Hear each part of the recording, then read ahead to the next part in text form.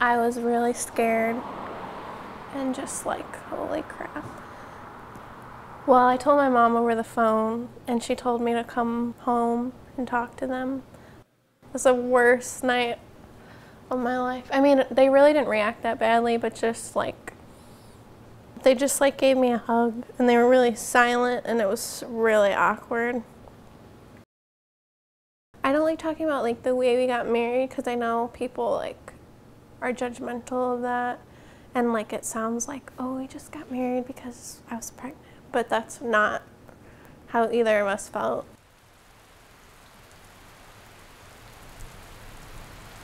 We got married on June 1st at the beach, and it was just us and like a pastor and our parents. It was raining, but you know, they say it's good luck if it rains on your wedding.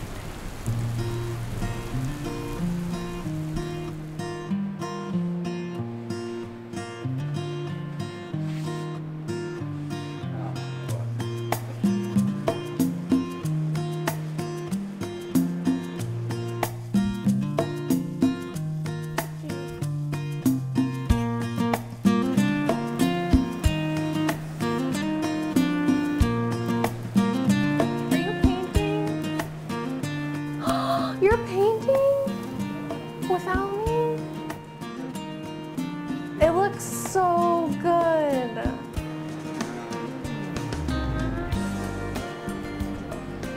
I was having cramps and my back hurt for about a week and then um, one night it was really bad like my back hurt so bad and I thought that was weird so I went into the hospital because that's where my doctor's office is and just to like see I didn't think it was anything and then they told me that I was four centimeters dilated already. And so they admitted me into the hospital, but I still really didn't think anything would happen.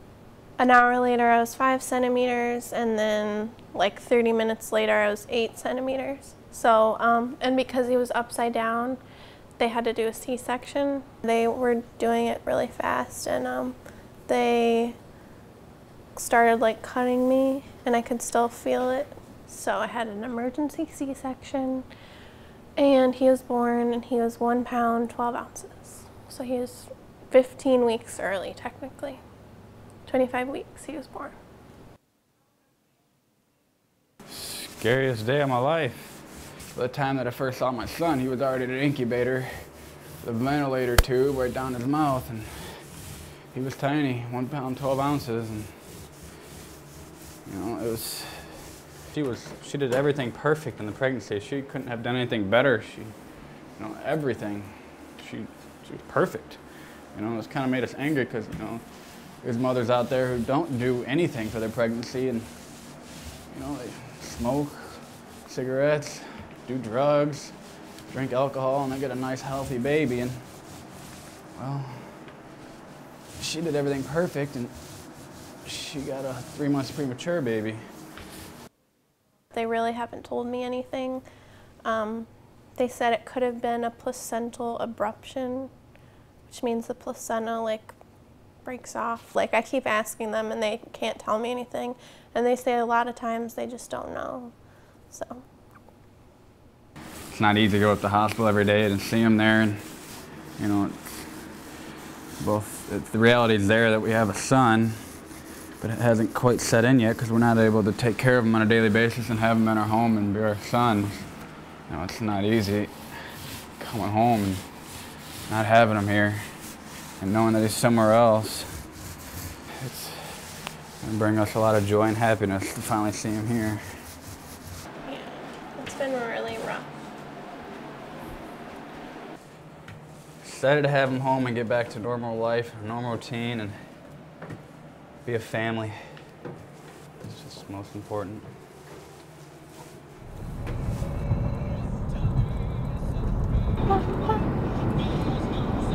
Just no substitute I go to the hospital at least once a day, if not twice a day.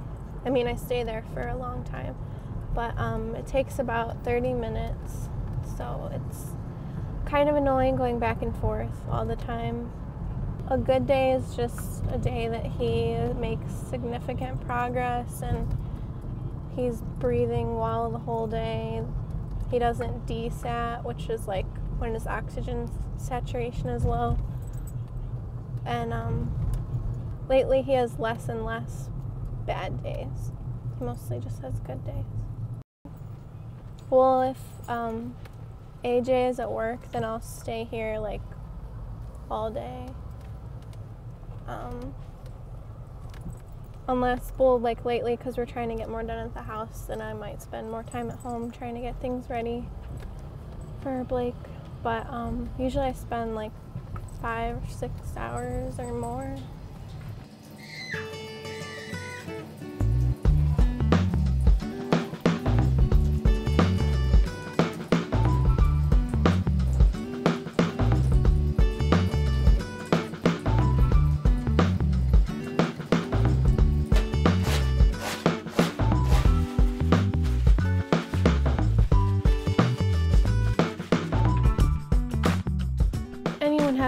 Premature baby, it's extremely stressful and it's just you want to have your baby with you all the time and be the one caring for it. So it's very frustrating and sad, but you have to be positive and um, you just like you just have to adjust to it and it becomes normal.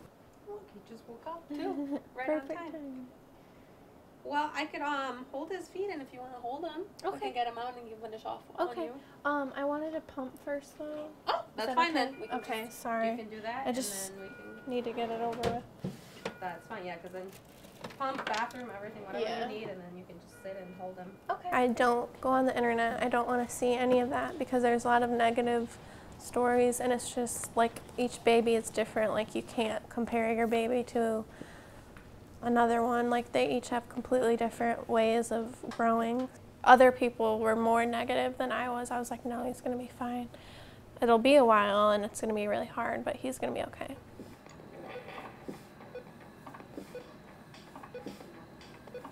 All right, the fast money round's complete. Let's see how many points you got. For your first answer, survey says. This was your second answer. Survey says. Answer, survey says. Hi, baby. Hi. Oh, he woke up. Like, as a mom, like, it's very unnatural to be away from your baby. And, um, you feel kind of like useless because, like, the nurses are the one that are caring for him. So it's, like, very frustrating. So we are counting down the days till we can take him home. Like this.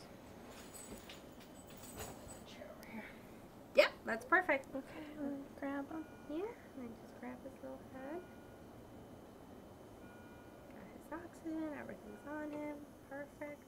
Um, I'm most looking forward to just like being able to hold him and like feed him and just having him with me. Like he should be with me all the time. Like it'll be, yeah, it'll still be stressful and hard, but it'll be a different kind of stress. I just can't wait. Hi. Feel really good. This is the best part.